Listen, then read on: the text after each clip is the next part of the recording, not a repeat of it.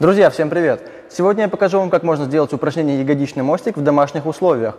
Нам не потребуется никакого отягощения, но предупрежу сразу, если ваш уровень уже выше, чем начальный, а, вам стоит уже пойти в тренажерный зал и сделать каким-либо отягощением. Но для тех, кому это упражнение подходит, милости прошу к просмотру. Итак, поясничный отдел у нас плотно прижат, так же как и таз, стопы, руки вытягиваем вдоль, затылок плотно прижат. Все, что нам нужно сделать, это немного развести свои ноги э, врозь и на выдохе привести таз кверху, при этом прогнув сильно поясницу. Здесь мы на секунду задерживаемся, сжимаем ягодичные мышцы и на вдохе плавно подконтрольно опускаемся.